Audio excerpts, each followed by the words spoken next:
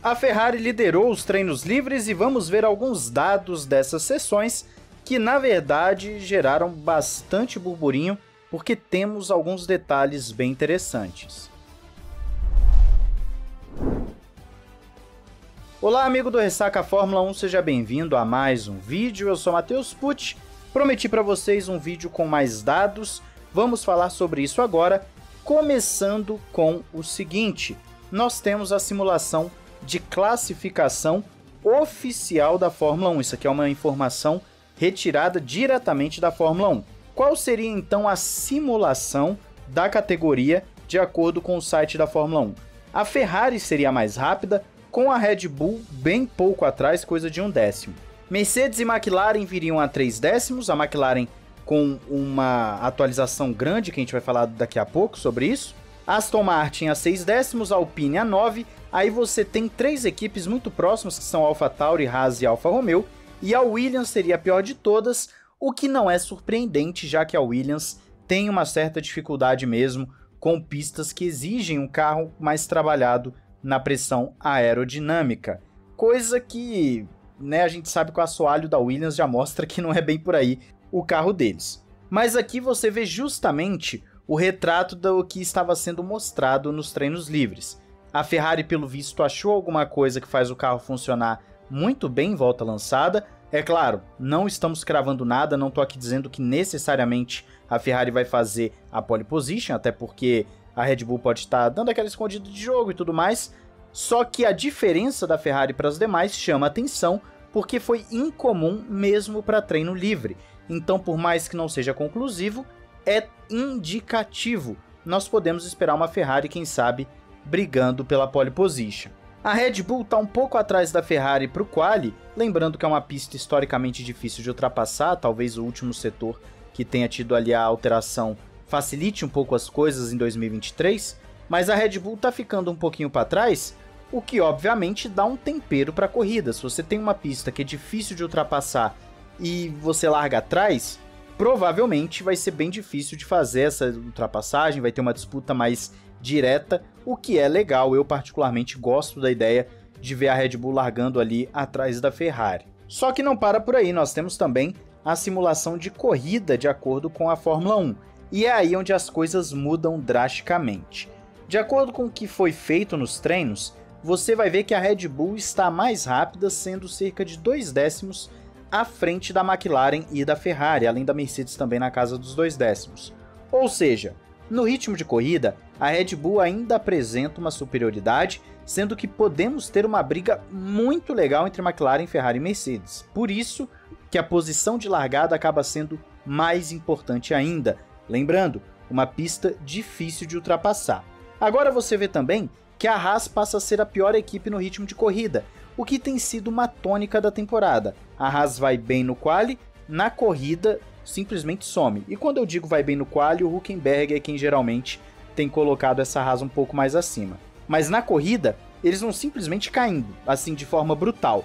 E a Haas não tem atualizações para esse grande prêmio. Somente para Austin vai chegar, então a gente sabe que eles estão um pouco defasados. Também vai ter uma briga interessante de acordo com esse gráfico entre Alpine AlphaTauri e Alfa Romeo, sendo que a Aston Martin ficaria ali num limbo, ela seria a quinta força num limbo total, sendo que no início do ano esse tipo de pista seria boa para Aston Martin. Agora, depois das atualizações e provavelmente da mudança na asa por conta da diretiva, só que antes da diretiva, né, quando a FIA teria falado com a Aston Martin mais para trás no campeonato, eles realmente perderam bastante terreno na disputa contra os rivais.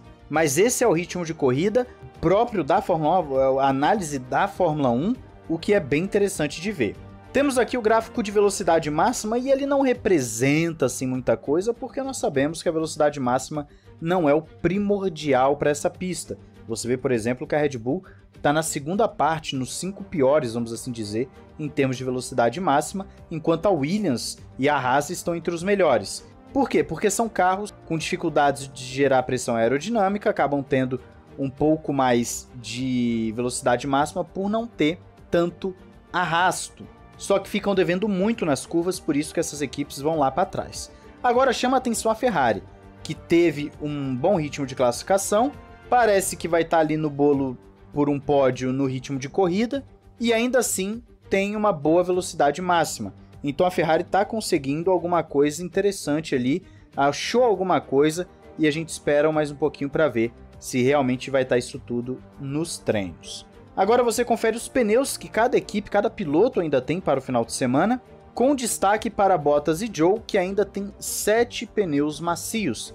De resto, a galera tá muito parecida, só que você vê que, por exemplo, Piastre ainda tem dois duros novos e somente um médio novo, o que pode indicar alguns stints mais longos do Piastre. Quem sabe ele está programado para uma parada, mas se eventualmente tiver um safety car no início da corrida, ele bota um duro também. Então pode ser mais ou menos essa linha de raciocínio dele. Você vê que pneu soft, pneu macio, as equipes têm de sobra, enquanto médios e duros as coisas ficam bem escassas, são pneus que geralmente não usam na sessão de classificação só quando são obrigados mesmo. Antes de irmos para os upgrades, eu quero mostrar esse gráfico já com algumas anotações do Fórmula Data Analysis, do sempre excelente Fórmula Data Analysis, que é um comparativo direto entre Russell e Sainz. E tem uma observação fantástica. Aparentemente, de onde você está vendo circulado ali, você está vendo justamente uma Mercedes que não consegue ter uma boa velocidade máxima. Só que não somente isso, ele tá de pé embaixo no acelerador, conforme você percebe no gráfico ali de aceleração no throttle. Então ele perder velocidade mesmo com o pé embaixo significa que um problema com a bateria pode estar atormentando a Mercedes. Inclusive nosso amigo Sérgio Milani comentou nesse, nesse post aí, falando que tem sido um problema para a Mercedes desde que mudaram o conceito do seu motor para o combustível 10% mais biossustentável. Então seria o que esse problema? Basicamente a bateria da Mercedes estaria acabando antes do ideal na reta, e aí o carro entra no modo de recuperação de energia novamente e fica mais lento. Por isso perde velocidade nas retas. É um problemão para a Mercedes se realmente foi isso, e pode ser uma grande cartada para as outras equipes na hora de fazer uma ultrapassagem na Mercedes. Isso pode inclusive custar bons pontos no campeonato de construtores para Mercedes, porque é uma pista difícil de ultrapassar.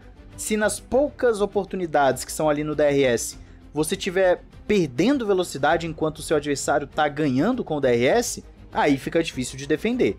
Então você vê que o Russell teve problema sim, mesmo fazendo um tempo de volta próximo do Sainz, coisas de dois décimos para trás do Carlos Sainz. Inclusive é dito que eles perderam na casa dos dois décimos por conta dessa brincadeira. Então a Mercedes, em tese, poderia chegar na Ferrari no ritmo, mas aí é uma outra história. Partindo para as atualizações, Red Bull tem tanto no assoalho quanto também no endplate da asa traseira. A Ferrari tem na asa dianteira. A Mercedes tem no duto dianteiro.